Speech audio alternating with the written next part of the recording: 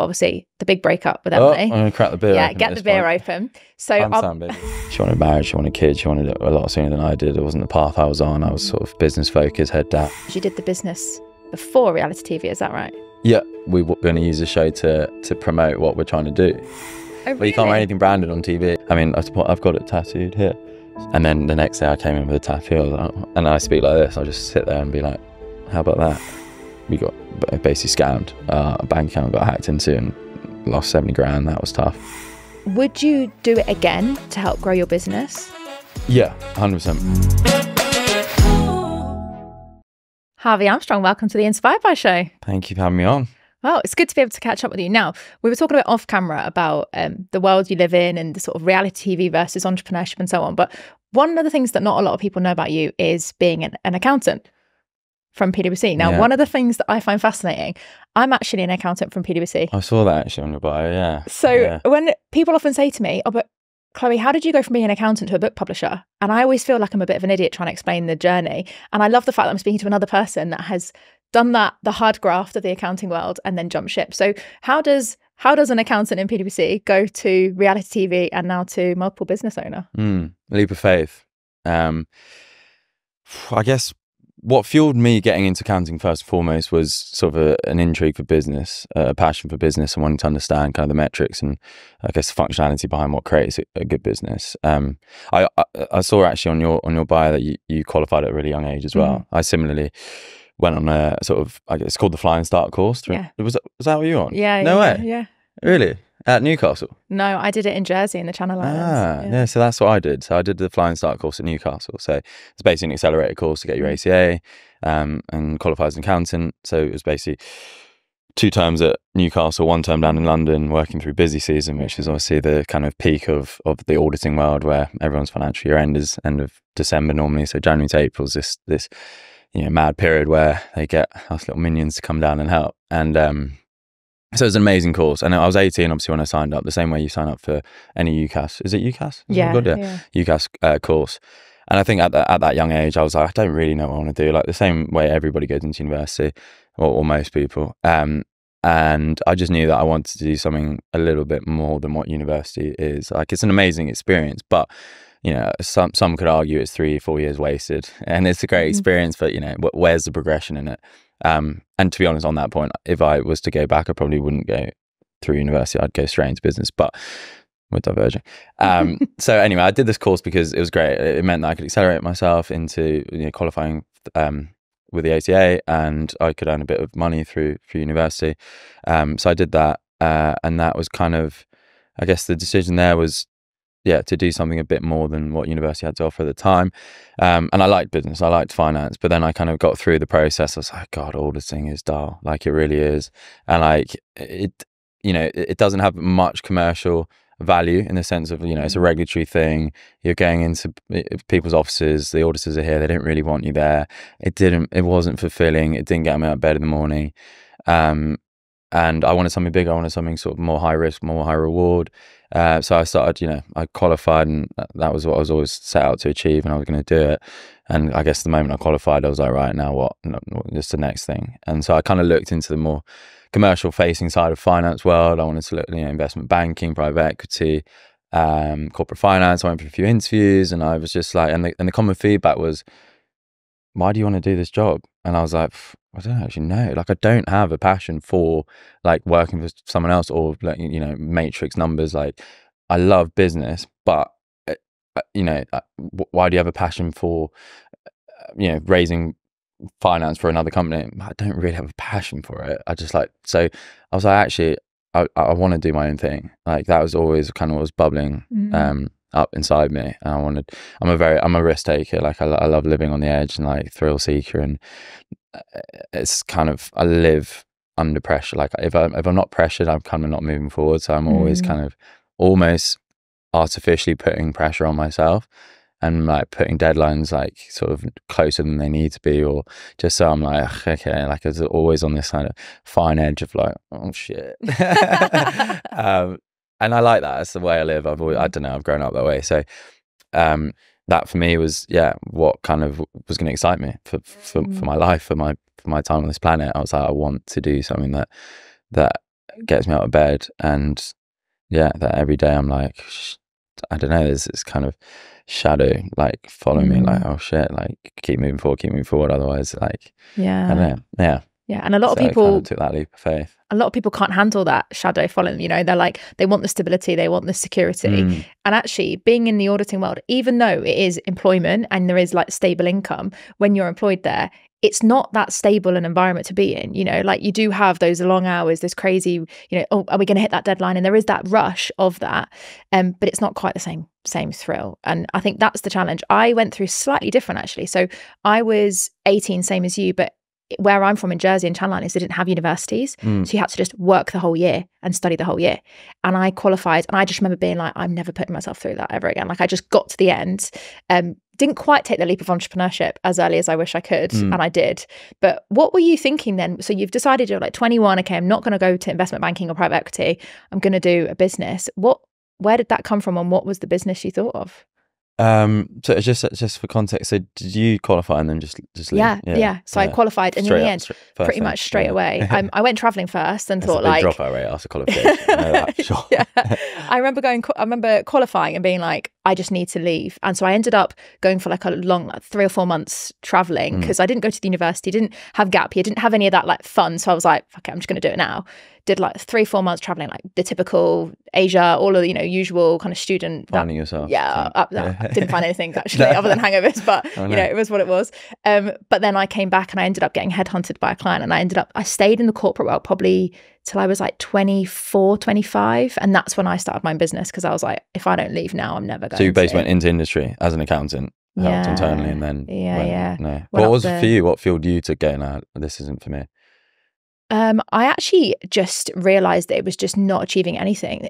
Like finance is great. You're helping rich people get richer. And it was just like saving money. And I ended up becoming a director, but I was more in like the project and compliance world by that point, like risk rather than accounting. Mhm. And I just remember thinking to myself, like, if I don't come in today, what's going to be different?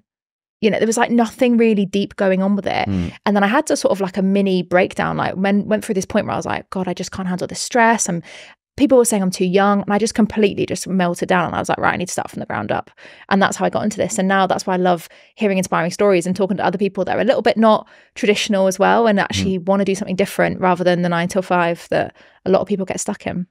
Great no, I love that I love that we share sort of similar um sort of career Mm. starting path yeah. Yeah.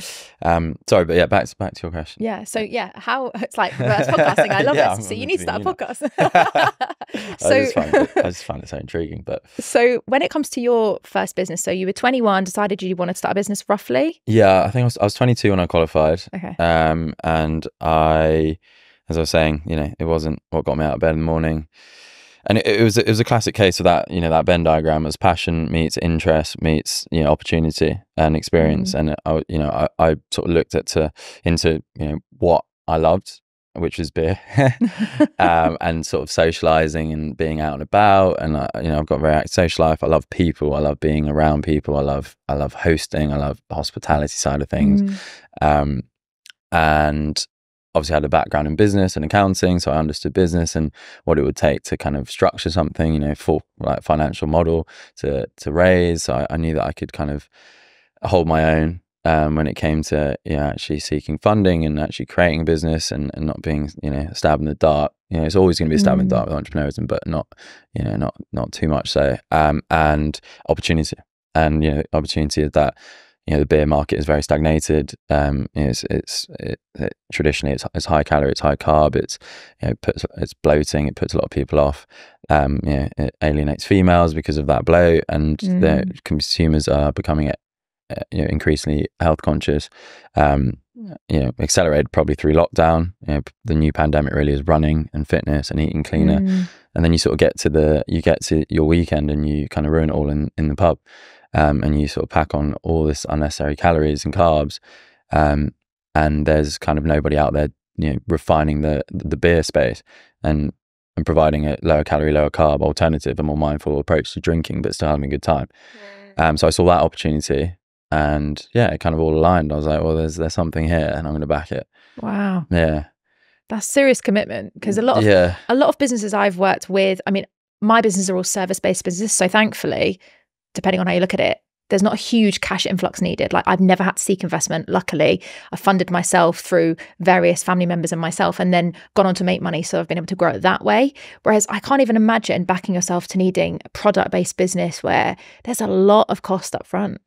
Oh, yeah, it is. It's um, it's crazy. It's a complete, you know, it's it's a high volume, low margin business. So until you reach kind of serious economies of scale, it's a very much a cash burning business. So it, it, you got to raise, you got to raise, raise, raise. It's all about revenue growth. It's all about sort of gaining traction in the market, demand for your product, um, and that kind of, you know, that proves that you know you, are creating something. You're, it's a very competitive landscape, um, and and it is really about sort of trying to cut through, um, and gain sort of market share. Mm. And if you can mm. do that, it, it's incredibly lucrative um, multiples on exit. So mm. that's what's exciting. But yeah, it's very much a cash burning business, which means you got to raise, which means you got to, you know, you got to pitch, you got to go through investment rounds 24 mm. seven, like which, it, which takes a lot of resource out of the business. And that's what's quite tough in that, you know, we, re- so we, we self-funded it initially personally um, with our co-founders and brought sort of product to market, product in hand, you know, proved proved concept, got a bit of traction in the market, so that we had a bit more leverage on our, you know, on our value and, and retaining equity. So then we raised, um, you know, quite soon after after launching to market, um, and we're now going into our third round uh, wow. currently. So it's you know, and, and that that takes a lot of time and resource out of the business and, and pushing it forward. Which, mm. but it's the way that, that all alcohol businesses go. Yeah. Um, I think there's a there's a stat where it's you need about five million to go from you know out the red into the green and wow. start being profitable to get an alcohol company off the ground. So anyone out there now, I just wanted to quickly interrupt this episode to share a quick message with you. Now, I've been hosting these interviews with Inspired by Show for a while now, and I've been loving all of the great feedback from our listeners. And it really means a lot when you all share from listening to these episodes, watching these episodes, share your incredible feedback. And I love that you love it as much as we do. Now, my mission for the Inspired by Show is to inspire others to challenge the norm, share their story, knowing that it's okay to be vulnerable and shock horror, take the mask off, and be raw and real. So so I have a favour to ask. Can you help me on this mission by sharing this episode with someone who you think needs to hear this message? Maybe there's a friend, a loved one, a colleague, or someone that you know that would really benefit from hearing this inspiring story. If you could do that to help us help even more people to challenge the norm and push themselves out of their own comfort zone, then I'd really appreciate it. So if you haven't already, share this episode with a friend, a loved one, a colleague, or someone that you know would benefit. Now, back to the episode. but that's why I find really interesting because if you look at like, there are a lot of celebrity owned alcohol businesses. Mm-hmm. It seems to be the thing of the last like 10 years, I would say. And a lot of them self fund and they have the money to burn to get to that point. And a lot of people probably saw you on reality TV, Made in Chelsea, and thought, like what a lot of reality TV stars do. They start on reality TV, possibly from speaking to people I've had on the show so far, not make as much money as they maybe thought they would from TV, and then have gone into starting a business afterwards. But what a lot of people don't know about you is you did the business before reality TV. Is that right? Yeah. Yeah, yeah, yeah. And there's an interesting point you make there as well with the lack of earnings within kind of the TV world now. I think, you know, there's a point to be made that it, it's very much a saturated market now. Like mm. What you mm. could earn in my world and sort of made in Chelsea, um, you know, and other sort of reality shows now is is sort of 10p on, on the on the pound compared to what you could make 10 years ago because it's saturated so like you, the following doesn't go up as much you're not you know pas aren't a thing you can't you know you don't get paid as much like for sort of brand campaigns etc etc so it's interesting that you know people do now need to look for other opportunities um, mm. that can actually i guess create a, a, a sort of bigger value uh, mm. pool than there used to be but um, yeah, I, I very much um, started Primetime conceptually with my co-founder Sam. Um, we didn't have a name, we didn't have a product, we had an idea, uh, and the show had been asking me to go on for for a few years pre this. While I was doing my accounting, I was in the back end of that, finish off my last three exams, the big ones, what they call the advanced. Oh my gosh! Yeah, yeah. yeah okay, I remember them. Trauma's coming back. yeah, actually, yes, yeah, so I was I was three weeks out from those exams, biggest exams, obviously, of my life at that point. Now I look back at whatever, but at the time I was like, oh my God. And then I broke up with my ex girlfriend, who was Sophie, at the time. Well, she, she broke up with me. Uh, basically, I, I got asked to go on it after university as I was leaving. And I was like, no, no, I've got another year to finish off my ACA, my qualification. Mm. It's not really the right time. But as a business kind of man and, and someone with an intrigue, I was like, I'm gonna go. I'm gonna go for these interviews. I want to understand what you know what you get paid a day. Can I f- like can I fit it into my current mm. job at PwC? Can I you know can I find another revenue stream? Um, and I went for the interviews. I assessed it, and I was like, it's not it's not that great. and also like I don't think PwC were that keen on me doing it at the time. So I was like, and it, it didn't align, you know, what I was trying to do. Um, but I, I got I got sort of a, a gauge on, on what it was about and what it could offer me. And in that process, I introduced them to my girlfriend at the time. She was like, and uh, long story short, she broke up with me and went on the show because um, I wasn't going to go on it. So I was like, fuck that hurt.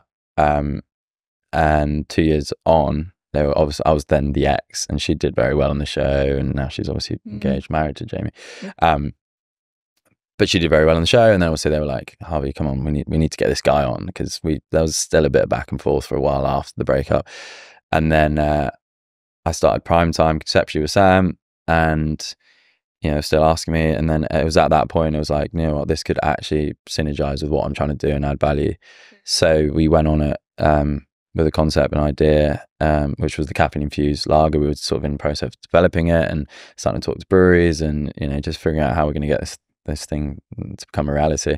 Um, and was yeah, we went out to Buenos Aires where we started on an away trip, and our whole our first scene, and we'll look back on this one day. Um, was we were, we were like basically the storyline was, "What are you guys doing out here?" And we are like, "Oh yeah, we're out here like talking to breweries and trying to find a brewing partner." Like, Flagesi Flagesi. It's like we were like, but we will, and we're gonna we we we're gonna use the show to to promote what we're trying to do. Um, and yeah, and we and I've done that ever since. I mean, I've, I've got it tattooed here. So uh, because, because like you can't wear anything branded advert. on yeah, oh, really? but you can't wear anything branded on TV. So I used to try and come in with a t-shirt or a cap, like prime time, prime, prime time, and then they were like, "Harvey, take the cap off, take the t-shirt off." I was like, "Fine."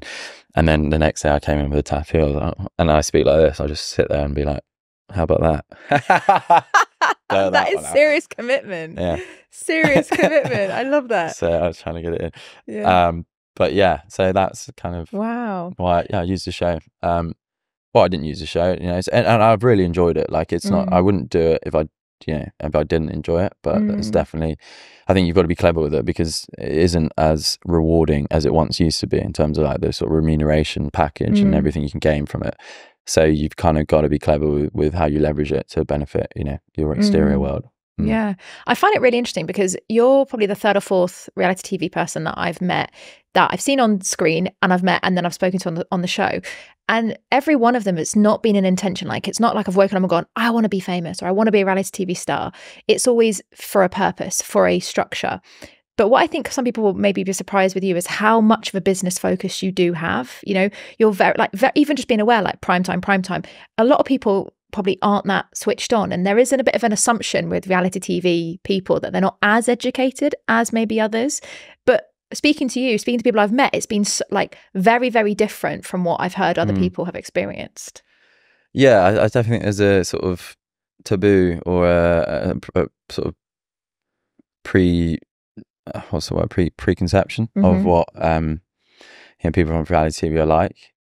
I think there are there, there are two types I've found. There are people that are chasing the fame and potentially, and it's you know, it's no, no, judgment, but you know, lost as to what they want to do, and and it's a it's a career path, it's a job mm. route, it's it is a you know, you can do it, it can keep your head above water, but some people do it one dimensionally, and it's that's their that's their everything.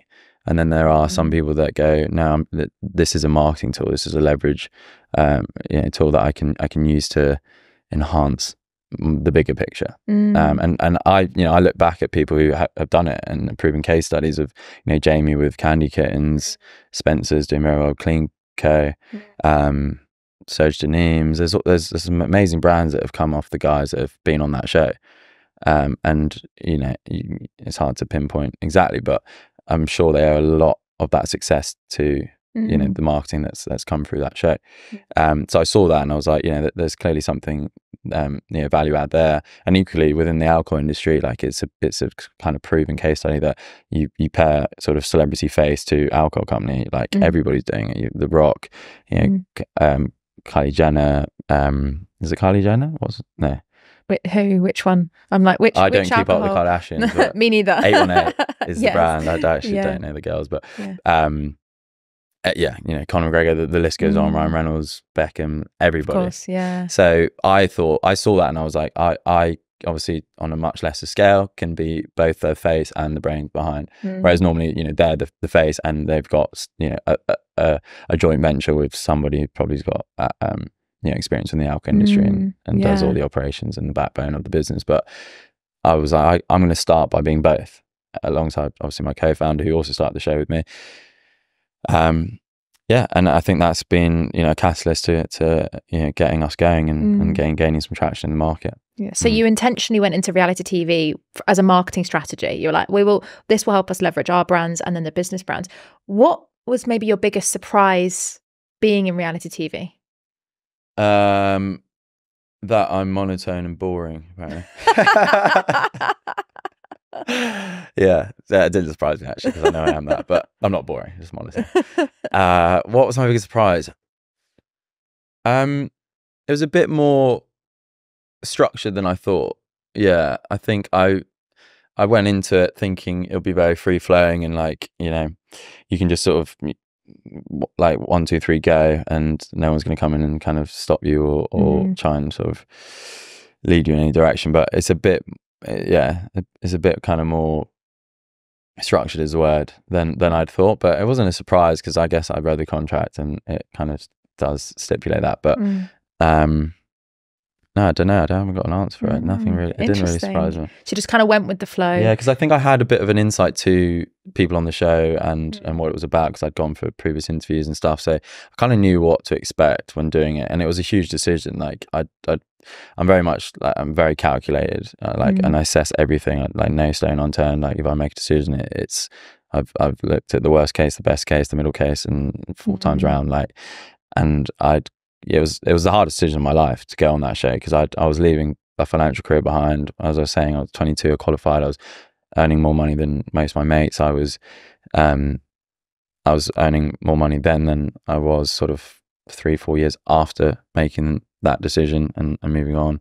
Um, so I was like, this is this is a big decision. Like, if I do this, and actually, what I've realized since, but if I do this, potentially I can't step back into the financial world because people have this pre-notion of you're a Mhm. reality TV star now, and like you can't then go back to being, I don't know, in a credible finance role. I don't think now doing it. I think I probably, if I wanted to go back into accounting or finance or some space there, obviously Mm. I'd probably walk into an office and people are like, "Shh, it's guy. But I think I could still have sort of that credibility to do so. But um, uh, yeah, I spent about three, four weeks like sleepless nights being like, should I do it? Should I not? Should I do it? Should I not? Um, because it was, it wasn't just a decision of kind of going on reality TV and obviously exposing yourself to the public and, and, and you know, the kind of fear that comes with that. But it was also the leap into entrepreneurism.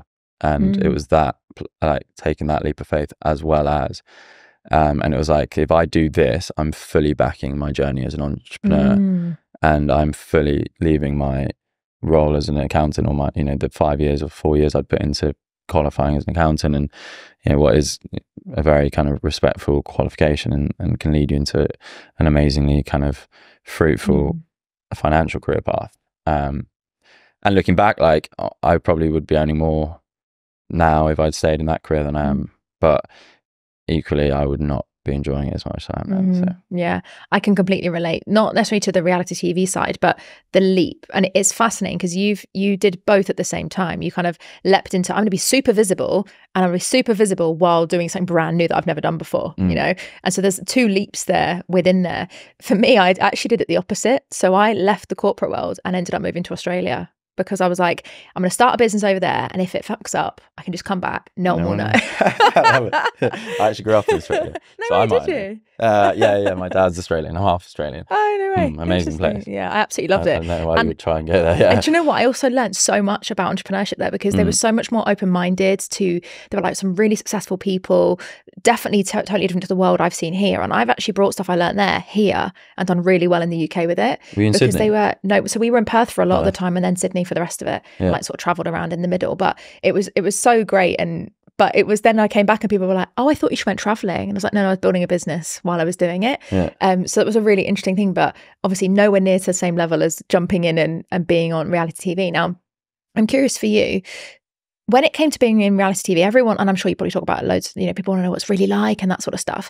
Um, how different was it for you compared to real life? So, you know, in these conversations, like in the relationships, the friendships, like do people make real friendships through TV? Yeah, again, I think there's two types of people. I personally can hand on heart say I've never kind of flexed my morals or um, tried to have an opinion that I don't actually have uh, through the journey. Like I'm trying to stay as real as as I can. Mm. There's definitely an element of the business side of what it takes to be successful and and, and sort of gain traction on the show and, and stay around as like a long standing cast member. Um, whereby you you do need to buy into the fact that you you need to create good TV. Like you Mhm. are encouraged, you are paid to bring the drama, and you know to do so. Sometimes, if your life doesn't revolve around drama, which clearly mine seems to, you have to kind of, I guess, um, formulate it yourself and kind of go out of your way to do so. And that's when it starts to become a bit like. It, you know, some people do it, and you're like, oh, mate, it's, it's so fake. What you're doing, like, I can see it from a mile off. But people do do that. So Mm, yeah. yeah, Do you see it more because you've been in reality TV? So, like, for example, what I found was when I went through some of my experiences, I spotted traits in other people because I've lived and breathed it. So, you know, do you see it more when you're on reality TV now and you see people like playing up and things like that? yeah, you can fully see it. It was actually interesting. I was watching the I was watching Love Island the final. I, I haven't had the time to watch the whole thing, but just because I'm the uh, All Stars, I know a few people from it.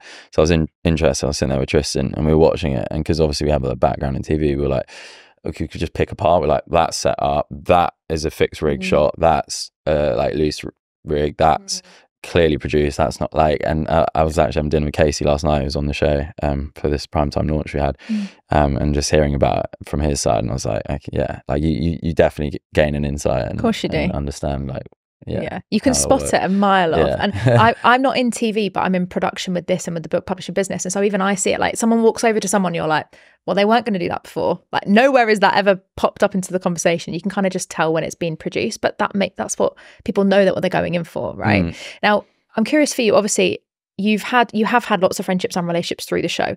How how challenging it can it be having you know ex girlfriends in reality TV? Like you mentioned, Sophie went into it. Sophie Habboo went into it after or before you, through you, whichever way around you talk about it. Having Emily as an ex on the show as well. How does that? How I can't even imagine having ex girlfriends when there's cameras around. You know, surely that makes it just a hell of a lot more complicated. It's bizarre. It's honestly like we, we, we say it like there is no in what world would you be sort of hanging out with your ex girlfriend? Like Yeah. so for example, I we went out to Bali a year and a bit ago for an away series with, with and Chelsea.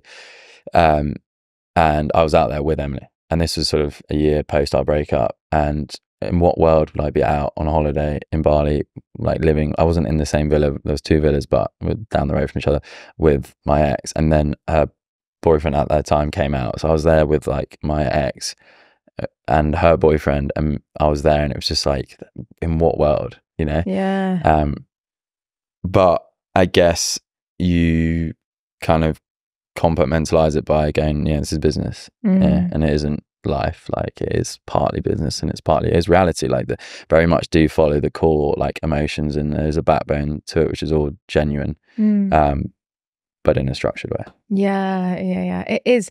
It is very interesting, and I think when you're like, I'm sure an away series is probably a little bit more pressured because there is like you know only so many places you can go. Do you guys speak off camera like with exes or ex friendships, or is it very much like cut right? You know, Shake your hand. See you, mate. See you, colleague. bye. Bye.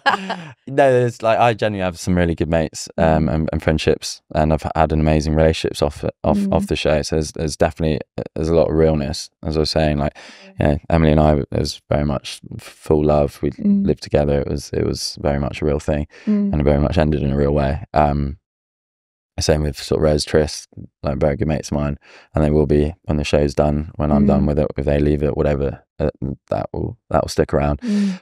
but then there's probably also an element of uh, yeah of, of, of i guess it's colleagues it's the same way that you know if you're working in a in a business you will go for a beer after work with someone because it's your colleague, but you're Mm. probably not going to invite them to your wedding. You know what I Yeah. mean? yeah, yeah, yeah, yeah. I was the same with like PwC. I don't know where it was with you, but it was a very small, like it's about twenty of us. I think started at the same time, and so like hookups were going around, and it was kind of like one of those sort of environments where you're all under the same pressure, and you have that thing that you can relate to. Now, um, you've probably talked about it so much, and I do have to mention it just from my own experience as well. But obviously, the big breakup with Oh, I'm Emily. going to crack the beer. yeah, get the beer point. open. So I'll, down, baby. I'll, be, I'll be honest with you, Harvey.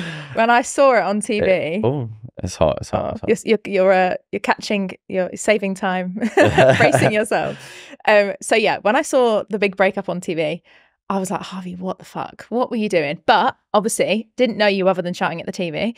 So I'm not really bothered about why you did it because you probably talked about it so many times. Mm. But for me, the bit I'm curious about is being on TV. Does it make you be more mindful of what you do outside of TV? And and how different was it going through?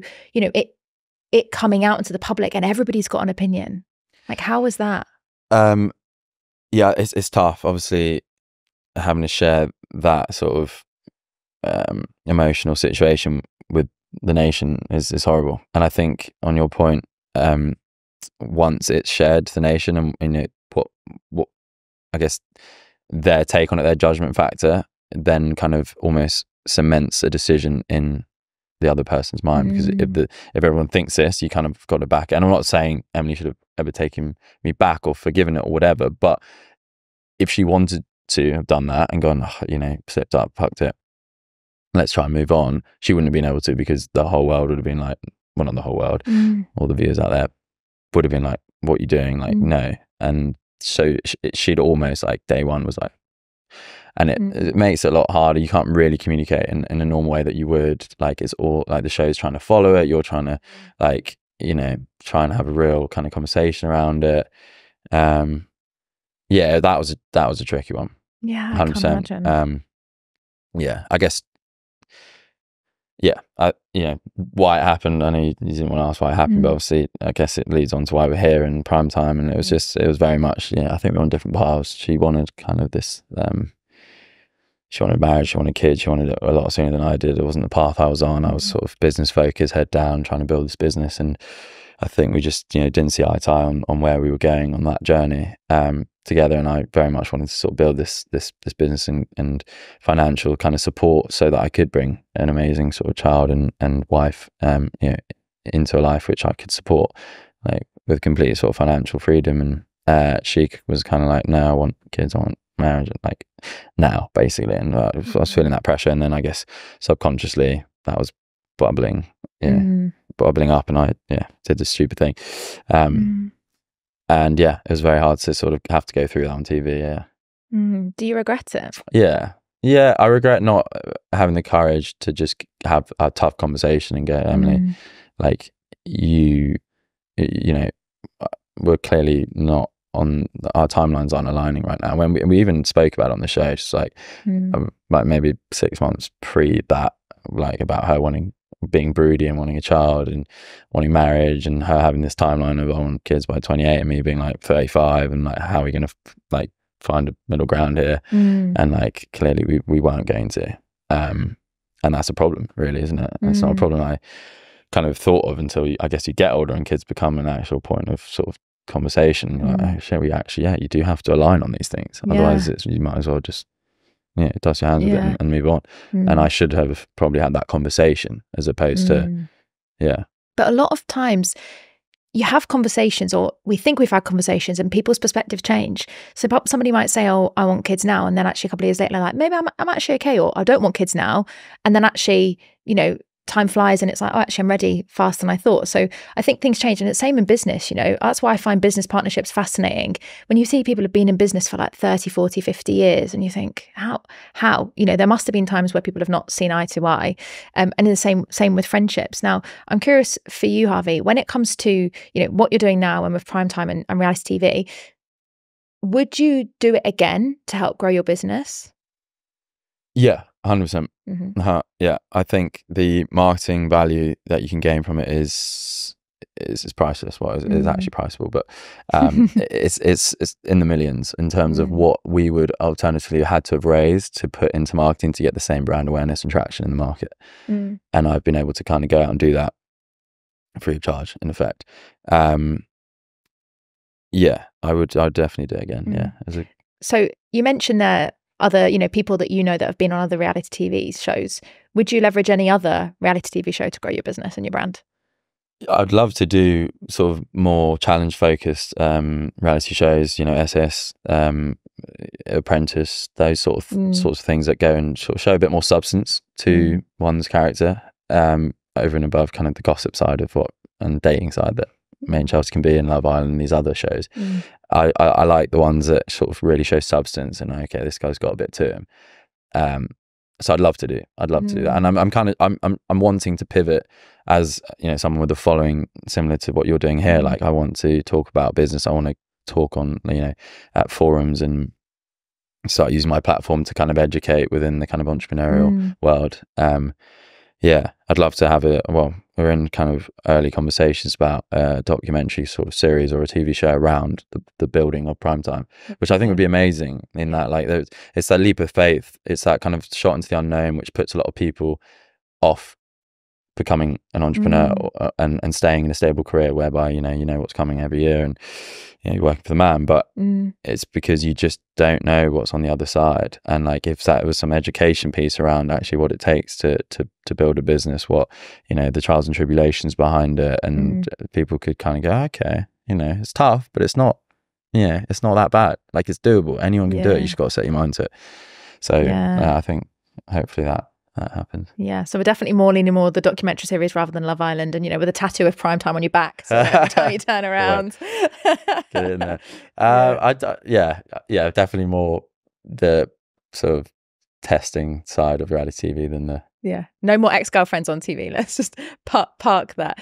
yeah i think i've kind of learned that relationships on on tv are, are, are tough Mm. um that said i've i've recently sort of been dating this girl and she's joined the show so we'll see how that goes. She's great there so far Brilliant. Yeah, Yeah. another girl that's come through come through your channels with with reality, reality TV. yeah That's actually gonna be one of the questions I was going to ask you. So I interview a lot of entrepreneurs on the show, and also I've interviewed a lot of reality TV stars. And one of the things I've noticed is a lot of them say they can't mix relationships with reality TV, and then the entrepreneurs say can't start a business with a relationship. You're doing all three, right? So you you know you're dating this girl, you've got the business and the reality TV. How how do you find them working together, and can they? Can you do all three? Yeah, so I mean, I have been on sort of against, I guess, having a relationship while trying to build this business because, Mm.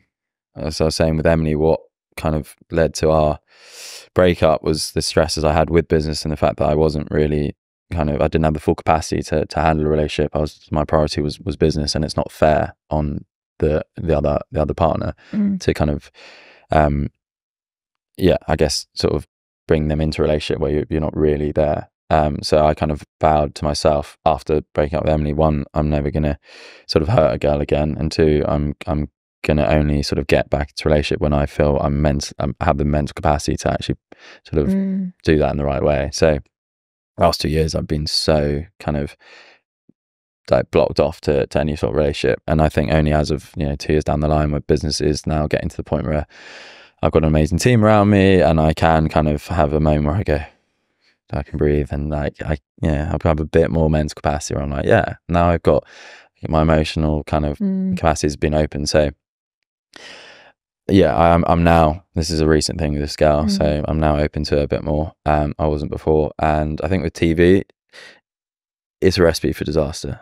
And that's my concern. but it's because the TV they want drama, right? They want the highs and the lows. So they'll they'll they'll push you and they'll press you into want like saying, you know, we're not currently official. Or like we're, we're we're enjoying it, we're taking it easy, and we're both quite chilled out people. But they'll want Mhm. us to go, ask her out, tell her you love her, marry her, have kids, or break up with her. It's like they want the highs or the lows Yeah. and nothing in between. So Yeah. yeah.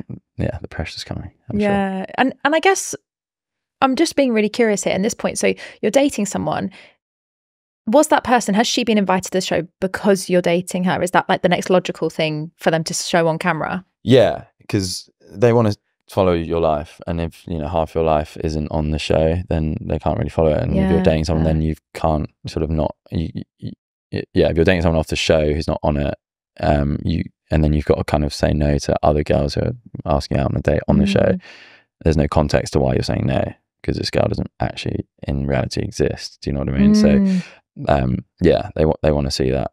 That's and, uh, really they ask if fascinating. That and yeah, And how does that conversation go with you and her? And, you know, oh, the producers would love you on the show. I mean, I couldn't even imagine stepping into that world or how how you'd handle that conversation. Well, I think I think she obviously knew what a part of my life was is the Mm. show, and she understood what knew what that's about. And then I kind of, as it got a bit more progressed, I was like, you know, they, I, in catch ups, yeah, I was like, I don't want to.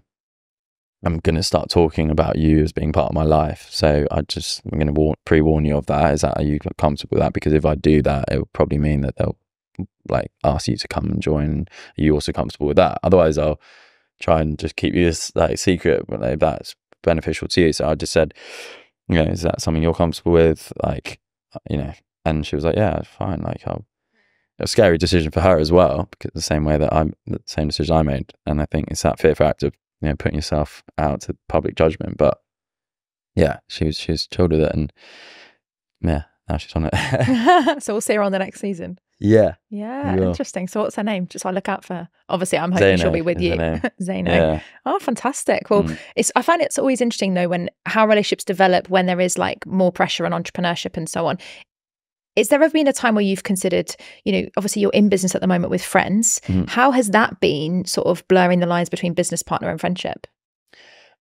Yeah, I mean, my business partner Sam is is my best mate. He's actually recently proposed to his girlfriend, and I'm I got to start writing a speech. So he's uh he's incredible, and I don't think I could have done it without having that kind of Mm. right hand man or you know that support because there are so many sleepless nights or you know fires and and kind of yeah you know big not issues but it's it's sort of standard practice for building a business but so many Mm. situations that arise that you're like, oh my god, this could be the end, or Mm. how am I going to cope with this? Like the pressure on your shoulders is is huge, especially now we've got a decent employee base, and you know we've got like people's careers like on our shoulders, and we Mm. you know we want to make sure they, yeah, they have they have an amazing career path with us. Um, so yeah, there's an immense pressure, and I think if you can split that 50-50, great. You know, if it's 100 percent on Mm. your shoulders, it's tough. Yeah. Um, and it obviously that it, it's tough to find that right partner because, and I've heard all the horror stories about best friends going into business and then you know not seeing eye to eye on business and falling out and probably never Mm. speaking to each other again. So far, me and Sam have been so harmonious in, in how we operate. Um, and I just hope it stays that way. And I can't see why I wouldn't because we just what he does well, I don't, or I do well, he doesn't, and we just like have such a mutual respect for each other that it just it's it's been pretty plain sailing. Mm. I love that. And I love the honesty because a lot of people will think, oh no, they're just saying that. You know, they're just saying that because they need to show, you know, keep the face clean for when like employees look up and parents are arguing, you know. But realistically, how has it been behind the scenes when it comes to the challenges of business? Because we all both know entrepreneurship is not always the smoothest journey. Like, what would you say has been the biggest like sleepless night that you've had as an entrepreneur? Well, it's Friday and payroll's due, and we don't have.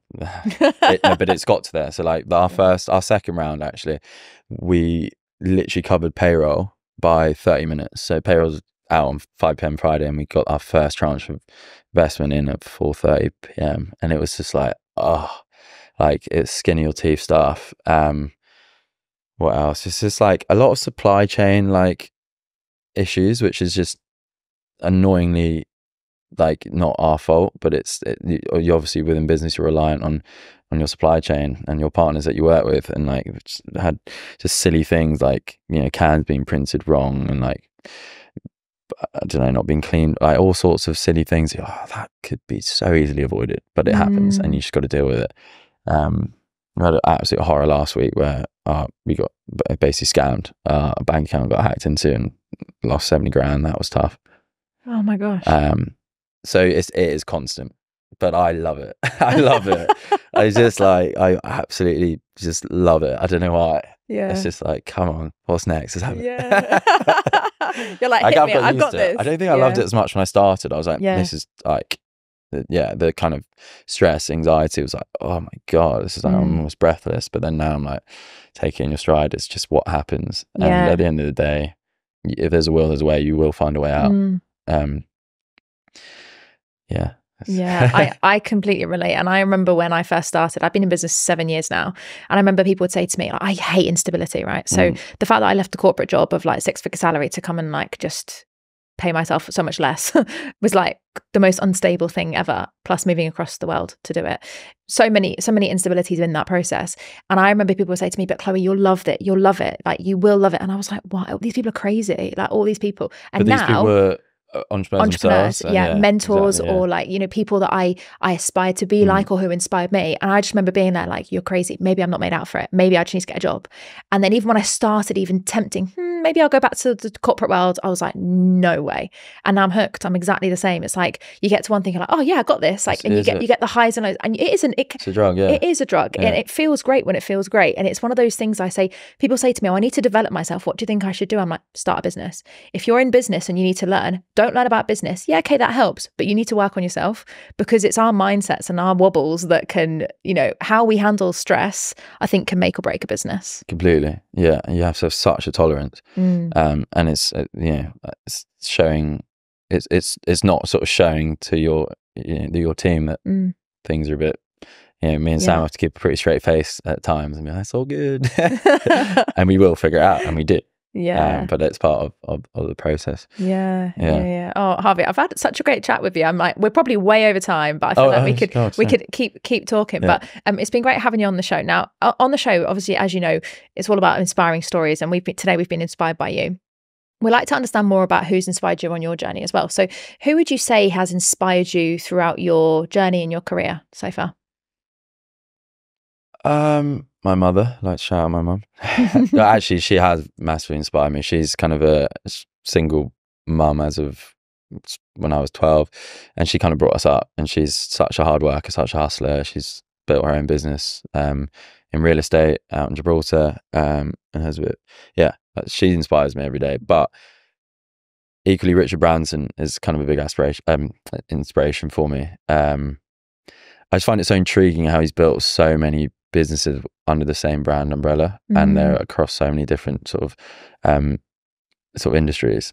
And the diversification is yeah is incredible. And Mm. like, he, he- I think he infam- infamously says um business opportunities are like buses there's always another one coming. And that for me has kind of allowed me to kind of not have a FOMO mentality when I'm assessing opportunities and be like no no no this doesn't feel right.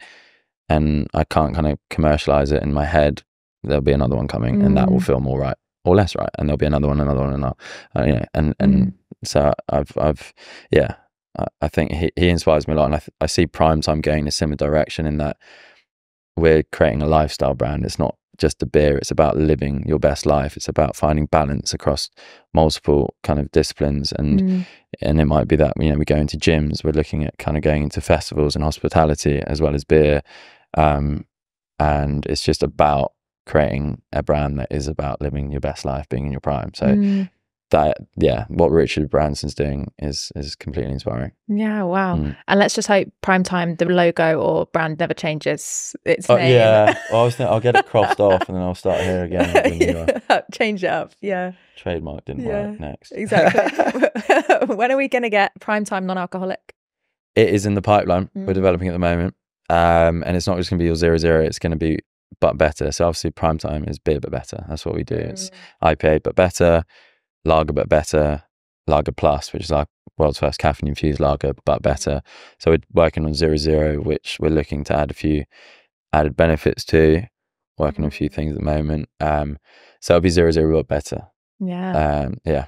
Fantastic. and yeah, and our, our kind of our, our mission is to go across kind of the beer category, so into Mm. stout, into we've now got our IPA, into pale ale, uh, zero zero, and then Mm. you know we also we- we're not sort of scared of taking over other alcohol uh, categories as well. nice, good. Well, we'll have to have you back on the show when you have a non-alcoholic one, and I can have one too. Yeah, we'll have a have yeah. a drink, have a drink together.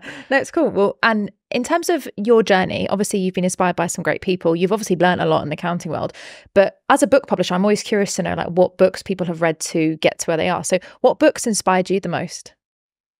What books? I've never been a big reader, dyslexia. Um, but uh, the Lean Startup was one that I read when I kind of took a took that leap of faith um, Mm. away from PwC into entrepreneurism. Um, and it just gave me a kind of, I, I guess it broke down that barrier of kind of lack of knowledge and, and the unknown. So Mm. it gave me sort of an insight into uh, what it, you know, what it's going to take to, to start a business. And I guess it kind of, um, yeah, it kind of reassured me slightly more that this is achievable. It's not that Mm. hard. I now kind of can grasp it. Obviously, I came from a very corporate, structured background with PwC, whereby they probably, you know, they'd never encourage you to go out and do it, do it for yourself. You were working, you were a small cog in this big machine. So that, but kind of mm, allowed me to kind of open my mindset up a bit towards, yeah, no, Mm. this is achievable. Yeah. Totally random question, but I'm super curious to know if your experience has been like mine. Has being an accountant been useful for you in your business? Massively. Really? Yeah. Yeah. Yeah. I mean, it, it's two things. It's given me credibility with investors. Mm. It's not, oh, this guy's this reality TV idiot. Like, what's he doing? It's, Mm. it's given the backbone towards the fact that I am a businessman first and foremost, and I'm on this show to help promote my business. So it's credibility there, and then also it's allowed me to kind of build financial models that have allowed me to raise money and Mm. and have that understanding, um, and therefore get the business off the ground. So yeah, massively Yeah. Yeah, I was about to say, but would I do it again or would I go straight into business? I think I'd probably go straight into business and Yeah. and figure it out as I go. I think Mhm. experience is is probably four years of more experience and a four years head start. I probably would have gone for that. But Mm, I was going to say exact same thing. mm, I would say the credibility has helped me. But actually, because I didn't seek investment or needing funding, financial models for us is very simple when it comes to publishing and, and podcasting and so on. I would say for me, it's been more like the strategic mind and problem solving and being like understanding numbers. I didn't realize my business partner's going to hate me saying this, but because neither none of them are accounting or business background educated, you know, we'd be on a Zoom call mapping out our numbers and I would be sharing our P&Ls or whatever and doing some spreadsheet calculations. I'm like, how did you do that? How did you do that on Excel? What does that mean? And I was like, oh, things you yeah, forget that Sam it's just thinks so I'm a wizard on on this on Excel. It's like, what is that? I'm like, "Mate, It's a formula. It's this thing. It's like, yeah. wow. yeah, it's exactly the same. Uh, sorry, complete off topic there, but I was just super curious. So, obviously, Primetime's quite a big brand that you're building. But if you were to ever go into looking into writing your own book or anything along those lines, what sort of book would you write? That's a good question. Um, I think it would be the leap of faith. It'd be around trying to break down that unknown for people and being like, you know, I did it. I went from probably to like one extreme to the other, from potentially the most kind of mundane, structured, straight, sort of like laced side of financial world into the most exposed reality TV career Mm. with entrepreneurism. So like, like polar opposites. So I think kind of a book around my journey doing that and why, you know, others can. And uh, yes, it is scary, but it, you know, it's achievable and it's doable. Mm. And if it's, you know, something you have an appetite for, then let me help you, yeah, Mm. make that journey smoother. Yeah, I Mm. love that. And I think that book will be a lot more appealing for you to start on when you actually have your, you know, documentary and all this sort of more stuff. You know, you're passionate about business and helping other people and explaining it to them. I think is, I think it will come about quite quickly when Would you, you start it? getting it. I would. I publish Would you it. publish it? Oh, you got a deal. go. Let's go. Shall we do it? it? Why Go not? Let's do it. It's getting on alcoholic beer in front of me, and we'll have a talk. Okay, a couple months we'll, we'll talk. we'll talk. It's- it's on- it's route. so, final question for you, Harvey. Obviously, today we've been inspired by you, and the reason is because your good friend Charlie shouted you out on our show. So, I'm curious from your perspective, who do you know that has an inspiring story that you think we should have on the show next? Well, Charlie's already been on, so I don't have to shout him back out. But um, did you say me and his? Yeah. Oh, that's great. Cheers, Charlie. uh, oh, good question. I think my my initial investor has an amazing story. So we took investment in our first round from these guys because we wanted aligned partners, we wanted people that could guide us over and sort of support over and above just the financial support. Like we had sort of offers across across the board, but these guys are in the they're in the whiskey industry, so in the alcohol space, um, and they're doing amazing things. Um, they're about five years in trading, about seventy um, employees now, and and, Wow. and massively growing. They've sold the most expensive bottle of whiskey in the world for two point eight million.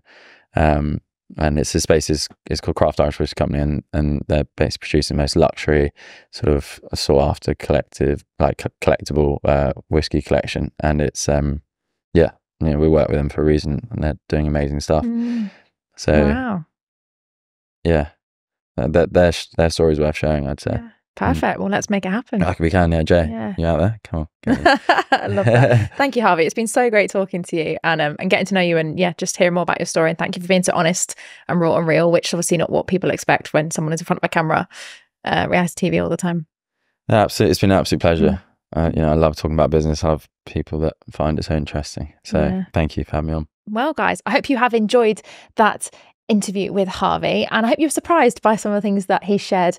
Um, definitely different to what some of you would have expected from his reality TV background. Now, if you haven't already, make sure you do share in the comments. If you are watching on YouTube, what has been the most inspiring moment that you've taken from this interview today? And if you're listening on any of the audio platforms or um, tuning in on YouTube, make sure you do subscribe and follow the show so you don't miss out on our next inspiring guest. I'll see you next week.